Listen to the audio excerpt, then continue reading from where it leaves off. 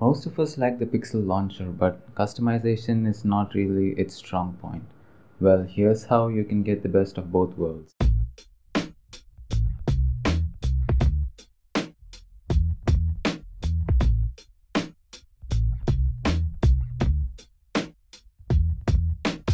For the sake of this video, I've retained the original look of the Pixel launcher but added a few tweaks to it. That being said, what you need for the setup is the latest beta version of Nova Launcher and the Pixel icon pack where you can also find the wallpaper for this setup. So here's how I've customized the launcher to work for me.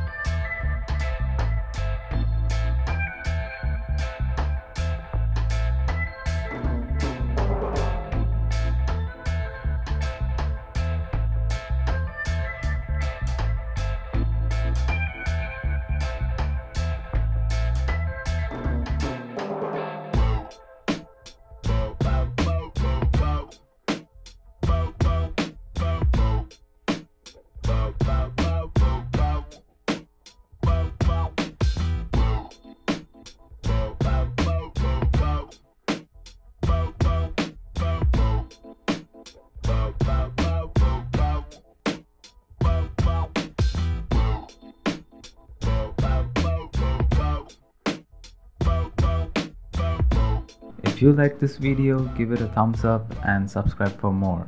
Until next time.